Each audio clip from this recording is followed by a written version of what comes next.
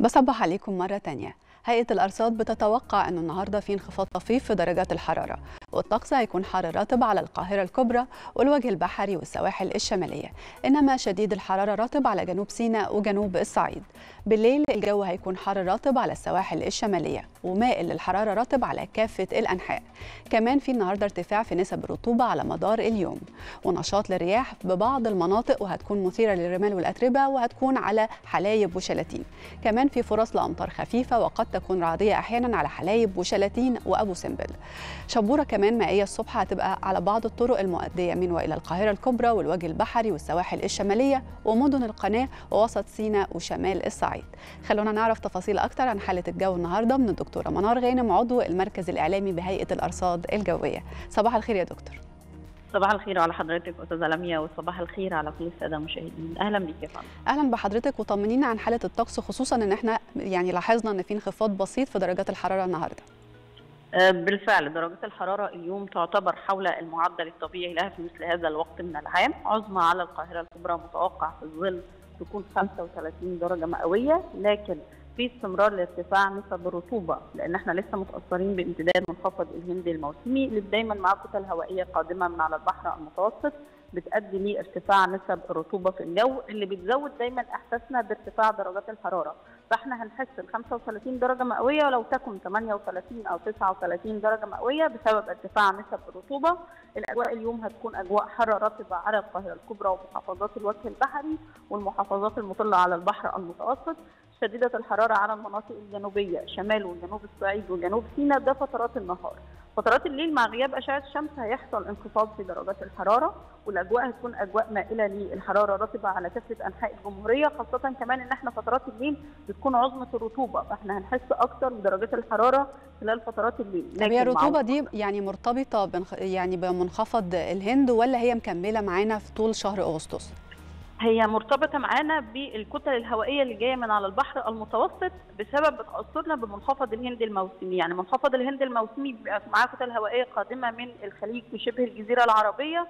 فبتمر الكتل دي على البحر المتوسط، الكتل دي بتبقى درجات حرارتها مرتفعة بالشكل الكبير فبتحمل بكميات كبيرة من بخار المية فبيؤدي لارتفاع نسب الرطوبة واللي متوقع إن هي تستمر معانا على مدار شهر أغسطس كله، يعني إحنا متوقعين استمرار تاثرنا بنسب الرطوبة العالية على مدار شهر 8 كله. عشان كده إحنا بنقول إن 8 ذروه فصل الصيف بسبب ارتفاع نسب الرطوبة اللي دايما مستمرة معانا على مدار شهر 8 وبتزود إحساسنا بارتفاع درجات الحرارة.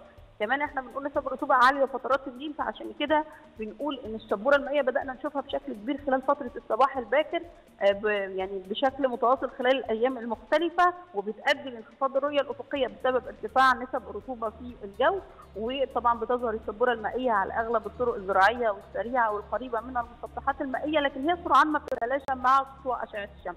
هنيجي على فترات المساء وساعات الليل هنلاقي نشاط نسبي للرياح على القاهرة الكبرى وبعض المناطق من سيناء وشمال الصعيد ووجود نشاط نسبي للرياح هيقلل إحساسنا بنسب الرطوبه بعض الشيء لكن ده بيكون فترات المساء وساعات الليل. كمان اليوم متوقع إن إحنا يكون مع نشاط الرياح اللي موجود معانا هيكون في بعض الأتربة والرمال المثاره على أقصى جنوب البلاد، يعني المناطق اللي موجودة في حلايب شلاتين أبو سمبل بحيرة ناصر، المناطق دي معرضة إن يكون عليها بعض الأتربة هتأثر على الرؤية الأفقية لينا في الطريق في في المناطق دي يعني؟ في المناطق الجنوبية في أقصى جنوب ممكن تأثر على الرؤية الأفقية وتؤدي لانخفاض طفيف في الرؤية الأفقية لكن مش هتأثر تماما على أي مناطق الشمالية. كمان هيكون اليوم في فرص لسقوط الأمطار الخفيفة واللي ممكن تكون رعدية أحيانا على أقصى جنوب البلاد أيضا نتيجة ارتفاع الحزام المداري اللي بيأثر على المناطق اللي موجودة في السودان وإثيوبيا وبيسبب أمطار صيفية في المناطق دي، الحزام المداري ده بيرتفع أعلى فبيتجه للمناطق الحدودية في جمهورية مصر العربية فهيأثر علينا بسقوط أمطار.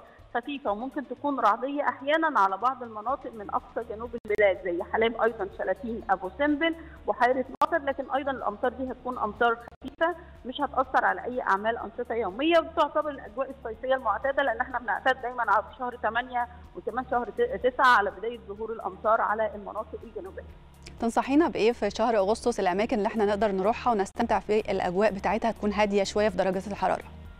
إحنا طبعا عندنا المناطق المطلة على البحر المتوسط السواحل الشمالية مرورا بمطروح والعلمين والإسكندرية دمياط بورسعيد رفح العريش المناطق كلها المطلة على البحر المتوسط بتكون أقل درجات حرارة في الجمهورية كلها رغم إن الرطوبة بتبقى أعلى حاجة في المناطق دي. يعني إحنا لو اتكلمنا إن درجات الحرارة بتتراوح ما بين 32 33 عظمى فترة النهار في الظل نسب الرطوبة بتوصل ل 90 95% يعني المحسوسة بتوصل 35 36 درجة مئوية فتعتبر دي أقل درجات حرارة في الجمهورية فبالتالي نقدر نستمتع بالأجواء على شواطئ البحر المتوسط بشكل كبير خاصة كمان ان حركه الملاحة البحرية خلال هذه الأيام معتدلة ونقدر نستمتع يعني البحر مؤهل لكافة أعمال الصيد والملاحة البحرية وأعمال التنزه. البحر الأحمر كمان نقدر نستمتع بالأجواء لكن درجات الحرارة في المناطق المطلة على البحر الأحمر بتبقى مرتفعة بعض الشيء يعني بتوصل ل 40 41 درجة مئوية فترة النهار أجواءهم شديدة الحرارة. نقدر نستمتع بس برضه لازم ناخد احتياطاتنا بالشكل الكبير ودايما الاحتياط المهم جدا في فصل الصيف. هي فترة الظهيرة لازم فيها نتجنب أشعة الشمس لأن دي تعتبر فترة الذروة الفترة اللي بنسجل فيها أعلى درجة حرارة على مدار اليوم كله شدة الإشعاع الشمسي اللي بيوصل الأرض بتكون عالية فمهم جدا. الفترة دي نتجنب أشعة الشمس بقدر الإمكان. ولو أنا موجود في الشارع أو حتى لو موجود على البحر يبقى لازم ما أقفش تحت الشمس لفترات طويلة وأكون موجود تحت الشمسيات وأنا في الشارع يكون معايا غطاء للراس شمسية أو كاب. وطبعا نتناول قدر كبير من المرطبات والسوائل وأهمهم الميه. بشكرك في النهاية. شكرا جزيلا الدكتورة منار غانم عضو المركز الإعلامي بهيئة الأرصاد الجوية. ودلوقتي مشاهدينا تعالوا نتابع درجات الحرارة المتوقعة النهارده ونبدأها بالقاهرة. العظمى فيها 35 والصغرى 26 العاصمة الإدارية 36 26 اسكندرية 32 24 والعلمين الجديدة 32 24 مطروح 31 23 ودمياط 33 25 بورسعيد 33 25 الإسماعيلية 36 25 السويس العظمى فيها 36 والصغرى 24 العريش 34 24 كاترين 33 17 وطابة 36 25 حلايب 36 30 شلاتين 39 29 شرم الشيخ 40 29 الغردقة 39 29 الفيوم كمان العظمى فيها 37 والصغرى 25 بني سويف 37 25 الوادي الجديد 44 26 أسيوط 39 26 وسوهاج 41 27 قنا 42 28 الأقصر 43 28 وأخيرا أسوان